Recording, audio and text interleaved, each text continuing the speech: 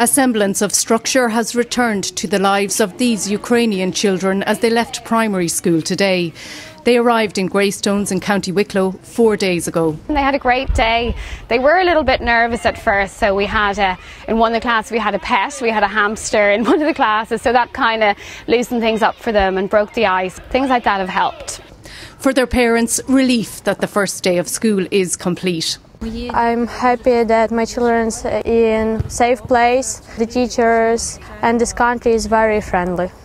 My son was very happy when he come from school to home. I am very happy because we are together and all will be okay. Over 20 families have been housed here by the charity Tiglin, which was due to open a refuge here for women who are in recovery from addiction. Tiglin helps people coming from trauma. The women we deal with come from trauma, and they just said the people coming from Ukraine are coming from trauma. So give them first. We, the community brought down all new bikes, new clothes, musical instruments, and um, it's worked well.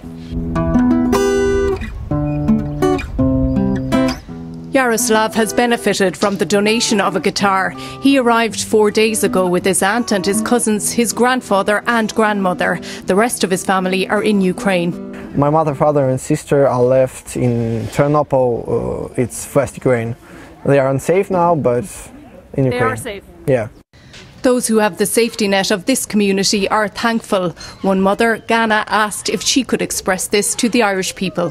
We are Ukrainian but uh, we are also responsible for our children.